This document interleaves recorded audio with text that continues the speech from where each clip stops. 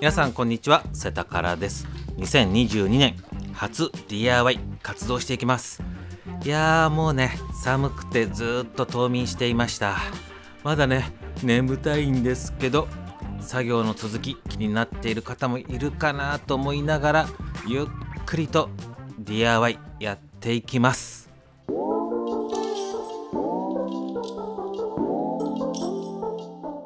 東京都内夫婦と猫1匹の賃貸暮らし。新たなライフスタイルを求めて海や山自然を感じる場所。都心から車で約1時間くらいの場所。築51年の中古物件を購入しました。2拠点生活。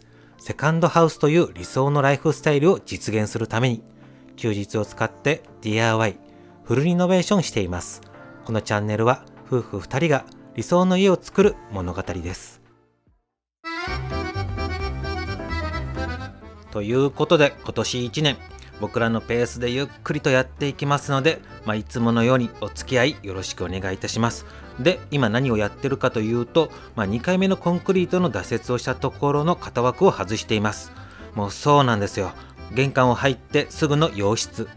おそらく増築されたであろう6畳の部屋、まあ、この部屋をコンクリートの土間にしようといろいろと悪戦苦闘を繰り広げながら、まあ、なんとかコンクリートの挫折までこぎつけました、まあ、コンクリートは初めてなんで6畳のスペースを4分の1分割にして1回目そして2回目のコンクリートの挫折が終わったところで、まあ、2021年の作業が終わりましたよね。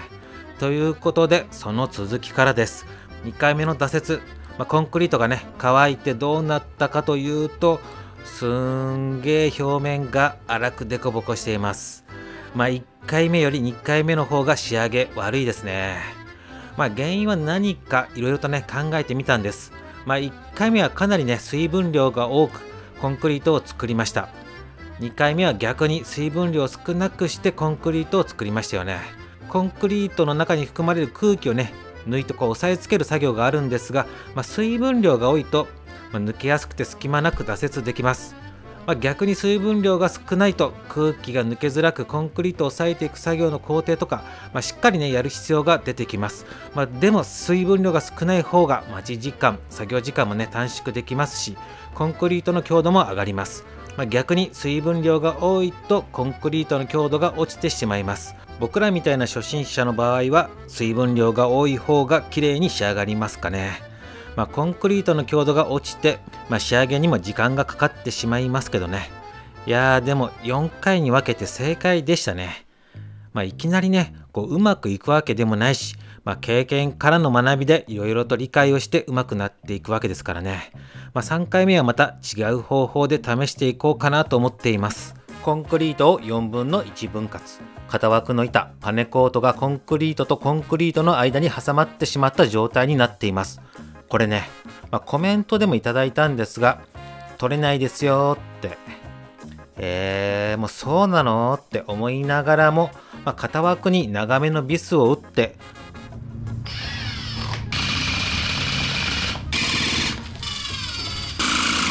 バールでね、まあ、こうやって、まあ、こうして、まあ、こんな感じでね、あれ？うーんと、えいって。うんあれ？まあでもねこうやってやれば抜けない。まあ抜けなければね丸のこで隙間を作ってこうしてあげれば。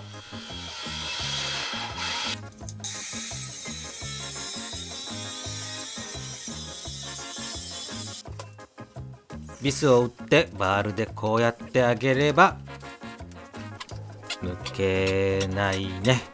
抜けないね。うん。折れちゃってるし。真ん中が残っちゃってます。刃がね奥まで届いてないのでしょうがないですね。まあある道具で、まあ、ドリルでホジホジして隙間をね広げてあげれば。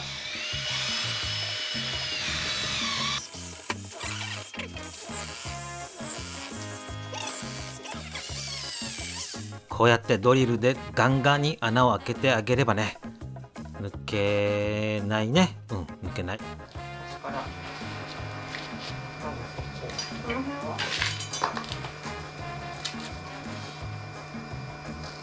さっと分解よね。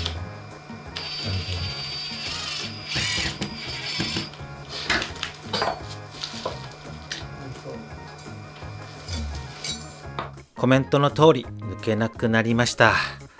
結構ね圧力かかってるんですねもうねこうなったらこれしかないです。よし。諦めようぜ。そう諦める。今度ね方法を考えます。とりあえずじゃあもうここは諦めよう。今日はね。今日は次ちょっと道具なんか考えてやります。で本来の今日の作業はまあえっと次、えっと、順番で言ったら3回目、ね、そう。ね。なんですけどその前にちょっとやりたいことがあって、えー、玄関のドア。今ついてるのがシングルの普通のドアなんですけどそれをまあえっ、とダブルのドア。ダブルドア。ドアが2枚つく感じに変えようと思います。でそこに大きい段ボールが届いたドアです。アルミサッシドア。安いやつ。まあ本当はねアンティークドアとかちょっといいやつつけようかなと思ったんですけどまあ外壁のスペックから考えるとアンバランスだろうと。そうね。浮いちゃうよね。でオリジナルでじゃあ一から作ろうかなとも思ったんだけどちょっとそれは大変だなと思って挫折しました。でとりあえず製品のものを買ってでそれをまあとりあえずつけて後々リメイクとかで変えていけばいいかなっていう感じなんででなぜでなんであのドアを先にやりたいかっていうとドアの下の部分。えー、っと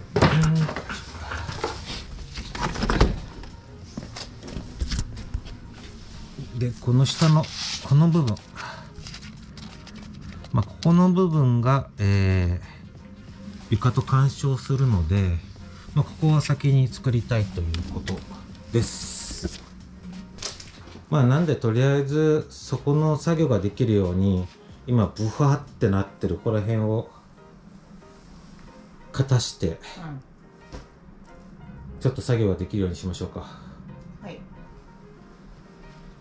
じゃあやっていきます玄関ドアをどうするのかこれはね結構前から2人で話をしていましたまあ土間にするにあたりまあ、将来的には自転車とかバイクとかを部屋の中に入れるかもしれない、まあ、玄関の開口を大きく取りたいとなったらダブルドアでしょうということで結構ね探したんですよね。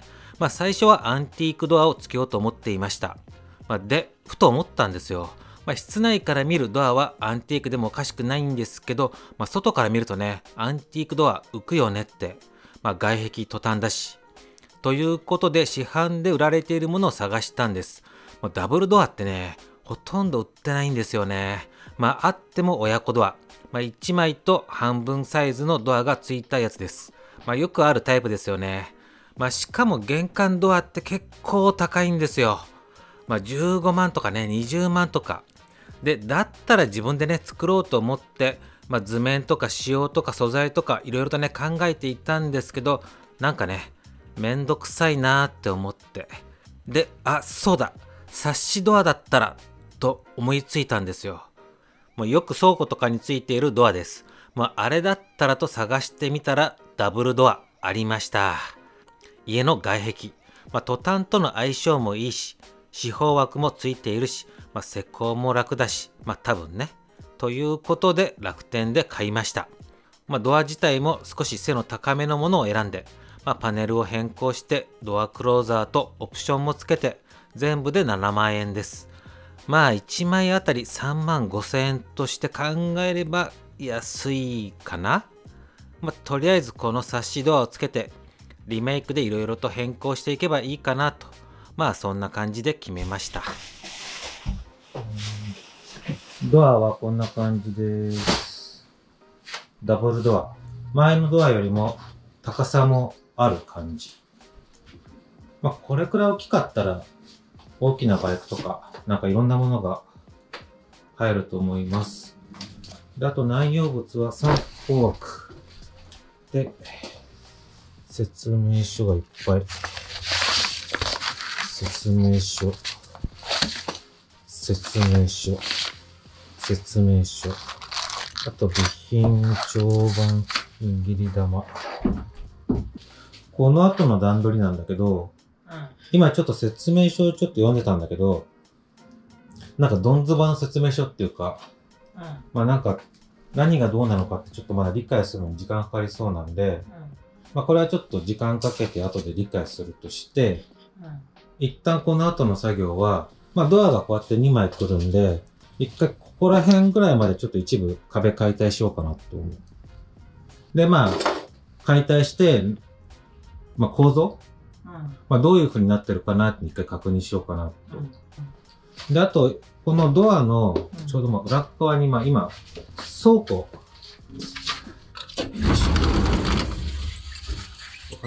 簡易倉庫作っちゃってるんで、まあこれもまあ、ドア作るときはちょっと邪魔になるんで、これを解体うんして中のものは中に入れる。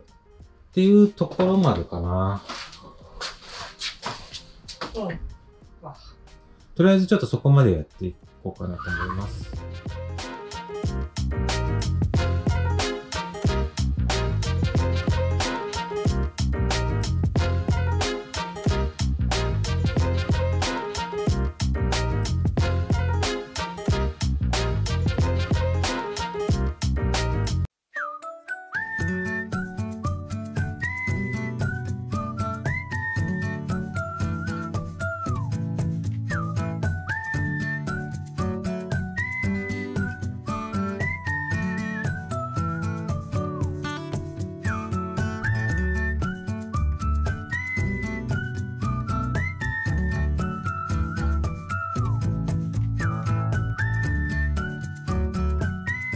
この倉庫、去年の夏作りましたよね。まあ、もともと取り壊し予定で作ったので、まあ、簡易的な作りでしたが、まあ、約半年間、特にね、問題なく、まあ、中に入れたものも濡れることなく、かびることもなく、十分ね、役立ちましたね。まあ、倉庫は作っておいてよかったです。夏の思い出、ありがとう。倉庫の中から余って使わなくなった暴走くんが出てきました。固まる土、固まる砂ですね。まあ、これは庭、駐車スペースで使ったものではなく、まあ、裏庭というか、ちょっとしたスペースのところで使った時の余りですね。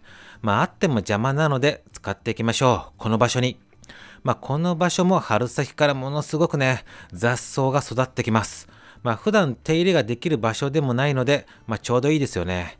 まあ、雑草対策、エアコンの室外機もここら辺に置くことになると思うので、きれいにしていきましょう。まずは石をどかして、雑草を取って地面をきれいにしてから足で踏んづけて固めていきます。まあ、後ろがね、川で足場が悪いので気をつけながらやっていきましょう。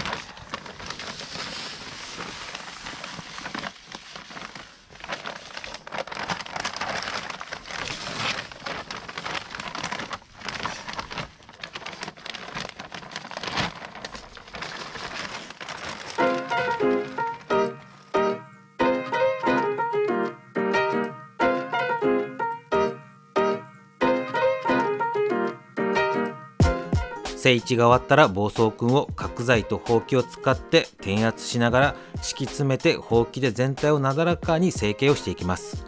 まあ、水を軽く表面にかけてあげます。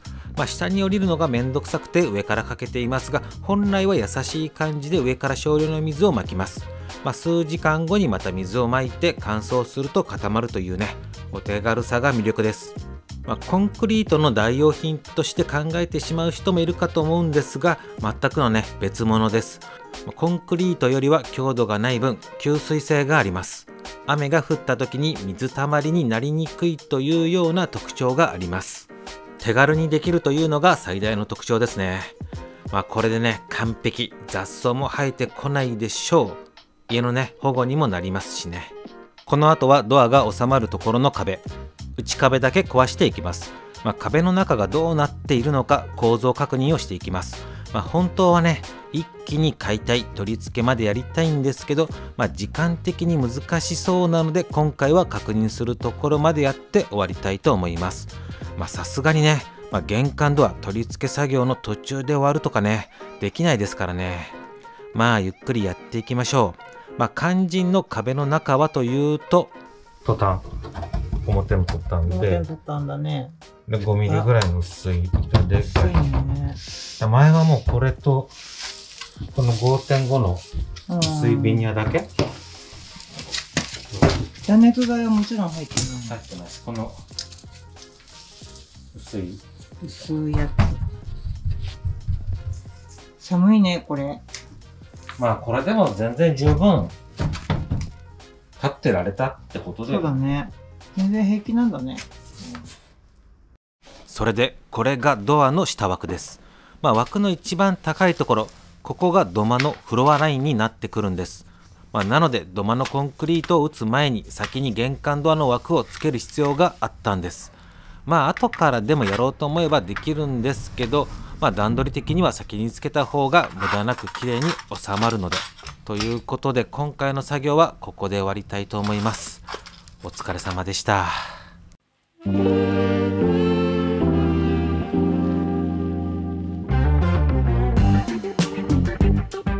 2022年1回目の動画が新企画世田から不動産でびっくりされた方も多いと思います。僕もねいろいろと考えているんですよ。